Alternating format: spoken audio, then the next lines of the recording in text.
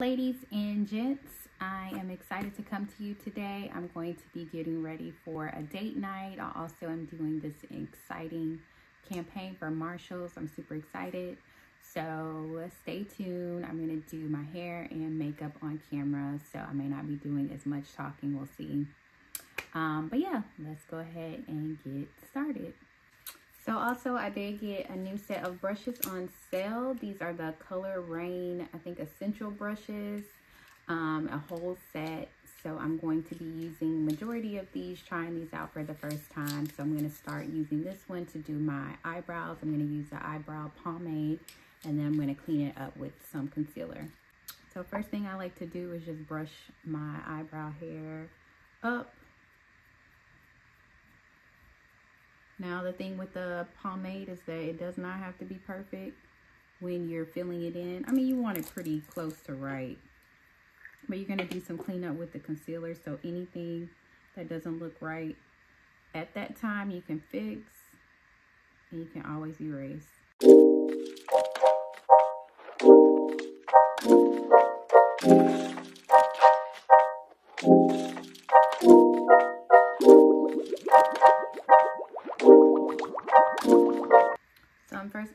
With a lighter concealer towards the end and then I'll do a concealer that's closer to my skin tone in the front. So truly you just are tracing the outline that you did with the pomade or if you use pencil. I think that's what I wanted to use pencil. I forgot I wanted to use pencil, but it's all good.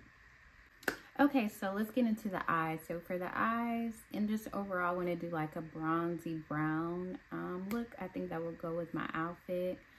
So I'm going to probably be minimal on the eyeshadow. Well, not minimal, but as far as using a bunch of colors. So I'm just going to use this ColourPop concealer as an eyeshadow base. And then while I do my makeup, I do want to talk a little bit about what's going on. Nothing crazy, but I have been posting a few videos here on YouTube. Not too many views, nothing crazy. I have been mainly focusing on putting content on Instagram. And I got a little traction, nothing crazy. And then just for kicks, I was also posting it on my personal Facebook page because I have you know, family that uses Facebook more than they use Instagram. And so I'm like, well, you know, at least the content will be up there for them to see as well.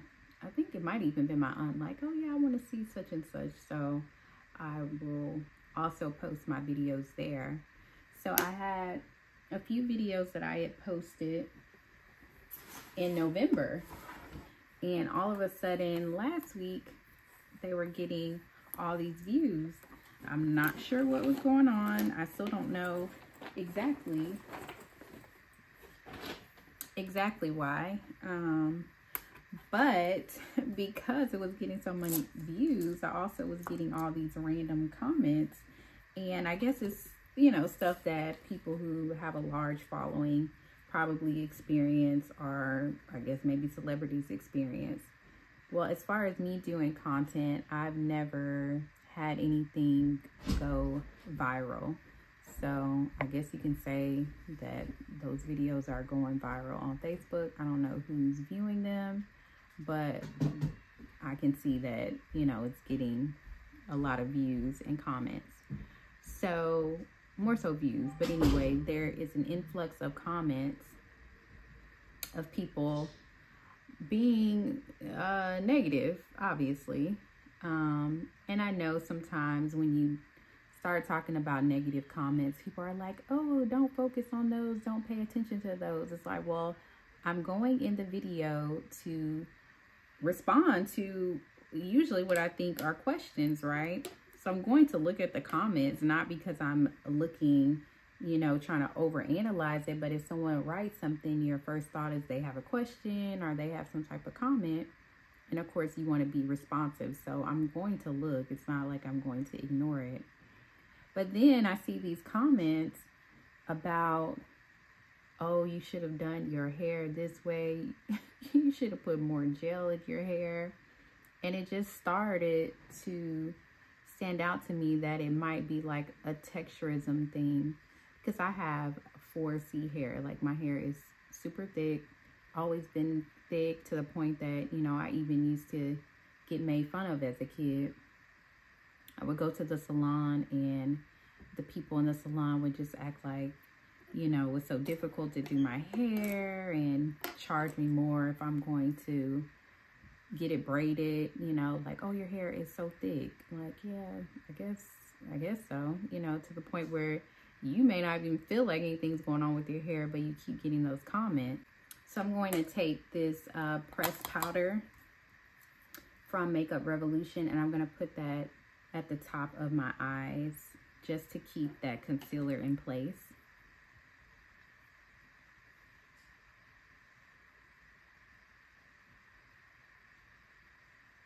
But yeah, so um, anyway, like I was saying, the comments to me were screaming texturism. And it stood out to me because I was watching this other girl's video on TikTok and she was pointing out um, this clip where someone said they wanted uh, models to braid their hair, but they wanted them to have good texture or good hair. And it's like, okay, well, what is good hair? And, you know, she basically was saying that, you know, she's tired of kind of like the discrimination and only seeing people with loose curls as far as like advertisements or, you know, uh, hair content online for natural hair. Because everyone's hair does not look that way. Everyone's hair is not loose curl and there's going to be some 4C people. And I happen to be one of those. But anyway, on the, the videos, they're more so like saying, oh, you should have gelled your hair down. So in one video, I didn't actually put any gel in my hair. So I was just recreating a Kim Kardashian look. And that probably is part of it because I guess they thought once I was done, I was going to look like Kim Kardashian. But no, like that wasn't the goal. I just liked her makeup for Nicole Richie's wedding and the hairstyle. So it's just like a look inspired by that look. It's not like when I was done I was going to look like Kim Kardashian because that wasn't the goal. I just like the look. And so, no, I did straighten my hair, but I did not put any gel in my hair because, number one, I don't put a lot of gel in my hair because if it's water-based, all my hair is going to do is curl up. It's not going to be straight when I'm done with it. And I also wasn't leaving my hair like that. I'm like, and these people are going in like, seeming like they're super upset about, oh no, you cannot do that. Like, um, and they even write comments like, no, she didn't. Like, no, I didn't. What? Just have fun and be creative. So that anyway was very interesting to me. I've not ever dealt with that. I have seen it just from taking in other people's con content and thinking like, what is that? What make someone stop in their tracks and write those random comments that are not uh, constructive criticism. Because that's what my husband was telling me. He's like, well, it's just constructive criticism.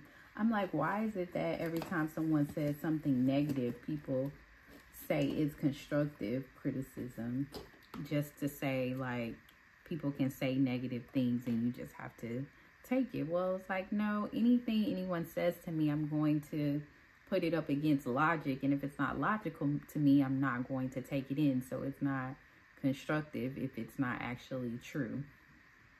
But anyway, I just wanted to share that with you guys. I am going to go ahead and do my eyeliner. I need to concentrate on this part, so I will be back shortly.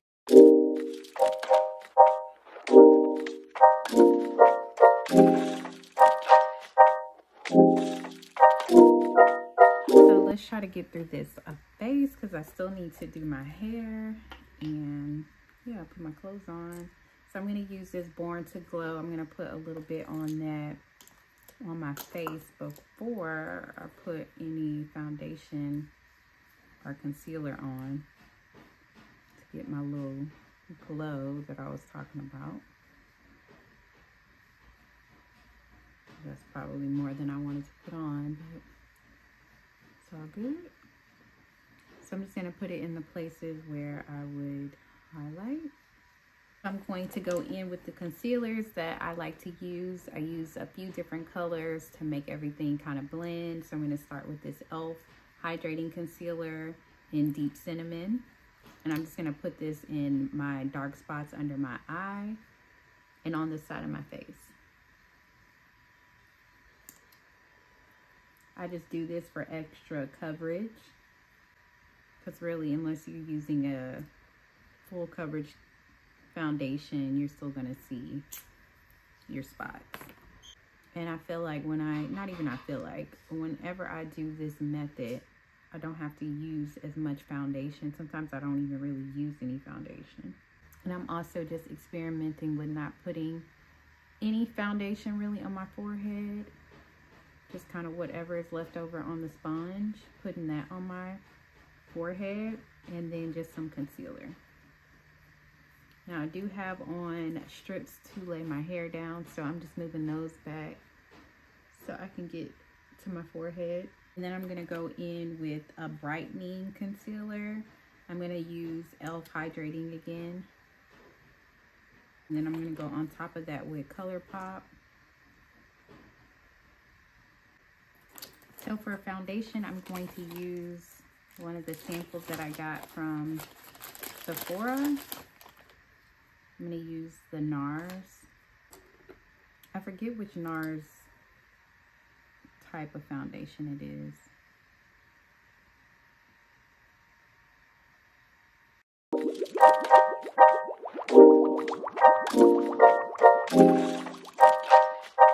let's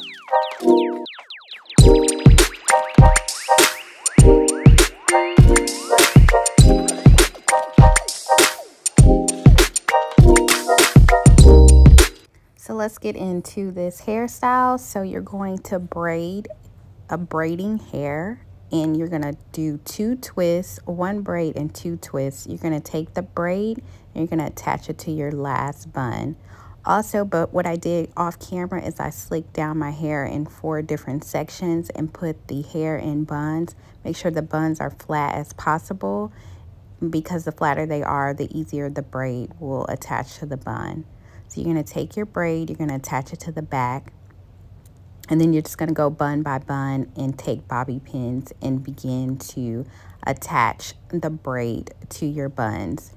You're going to have the very end of the braid is going to meet the front of your buns. So before you finish attaching the braid, make sure you wrap your two twists on the very first bun and then go in and pin your braid. So then this part, you're going to start wrapping your twists and you're going to wrap them freehand. What I did is I had a bigger twist. Um, one was bigger than the other and I used that to frame my face. And then I used the smaller twist to go in and just fill in that gap. And you're going to pin just freehand. There's no rhyme or reason to it. So have fun with this part and just pin for your life is basically what I can say. And then even after I finished pinning the front part, I went back and did some pins in the back just to make sure everything felt secure and nothing was out of place. So you'll see me kind of pinning here and just going and figuring out little spots where I can make sure everything is super secure. This, you guys, took me maybe 15 minutes to put together. Okay, and that is the finished hairstyle. I'm going to do a 360 and then I'm gonna go put my clothes on and I will be back.